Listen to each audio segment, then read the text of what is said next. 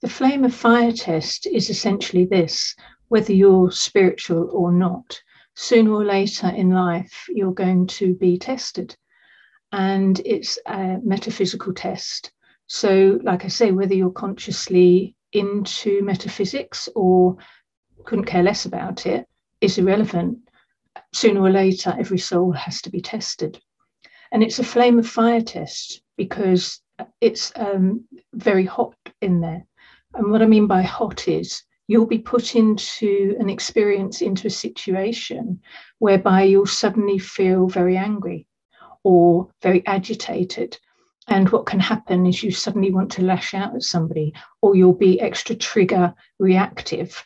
Um, and people say to you, you know, what the heck's happened there? We didn't really say too much, and you've, you know, gone off the deep end. There is something else called the killing energy. And um, that's somebody else's term that I learned of years and years ago. And essentially, what's happening is consciousness is rising whether people are paying attention or not. When consciousness rises, what that means is everything in the unconscious now has to come forward into consciousness. There's a good reason for it. It comes forward to be healed. Now, how you manage this is really important. So, at that moment of our real vulnerability and weakness, we might be physically on our knees, emotionally, psychologically on our knees, spiritually vulnerable. That is testing the salt and the mettle of your soul. Don't fall into the trap of thinking this is a an awful test that you can't pass because you actually can pass it. You have to create more faith over fear. And so, two things are happening. Externally, you'll be presented with uh, people, situations that are going to fire you up. Now, listen to my terminology. And then your brain is going to get hot too. So, the external environment being hot as well. In our world, it's getting hotter. And this means that heat is a byproduct of um, energy.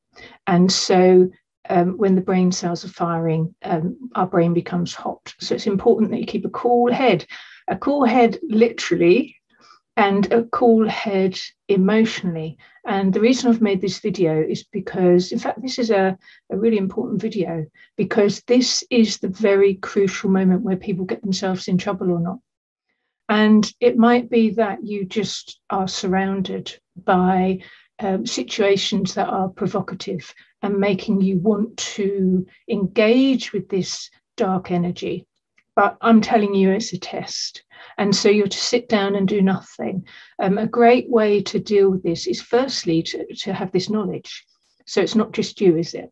This is a global test. And at the moment, hundreds and thousands of people are going into this test, but they're going into it not having watched this video.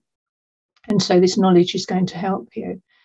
Dark energy comes into our wounds, which is why it's good to do self healing, because where you can be gotten uh, through your wounds and the things that annoy you, that is where you're vulnerable. So sometimes in class, I actually try and offend my students.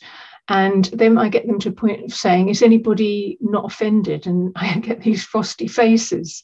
And then I said, Well, look, now I'm doing you a favor because I'm on your side. So I'm just showing you where you can be offended and manipulated and seduced, because that is where dark energy comes into us. And that's when we then want to act on it. And so the test is to see it for the game that it is. And if you go right up to the flame and hold your own and keep your faith and do nothing, then eventually it cannot sustain. And so it dissipates and goes, goes to find another poor soul to pick on. But what I wanted to let you know too is most people don't realize that we have uh, natural impulses that run through us. So perhaps more of an angelic one, um, the love impulse, the life instinct. And then we have the darker one, which some people think is quite demonic, which is the um, the death instinct. But actually, the matrix that we live in is a world of binary uh, polarity until you progress through to reformation of um, your thinking. So you have to do a couple of things here. Firstly, not act on it. Secondly, see it for what it is. Thirdly, find a way to sublimate that, that is um, not engaging with other people in social. Or also, I'll just give you the heads up don't internalize this either. So don't start to take this out on yourself because your internal saboteur is going to like that. So just sit there, just wait and, you know, do your praying and your meditating. Um, and then what you do is you wait for the intensities to subside. Now, what people then get upset about is that it can happen again. And I don't want you to be disappointed because I want you to just know that we are kept in the dark until we find our own light. And by that I mean is that eventually go round and round and round again and it starts to look familiar. And this is my best tip for you to get over any psychological disorder is to get bored of it. And you get bored of it uh, the more you see it and the more you think, oh, okay, hold on, this isn't me.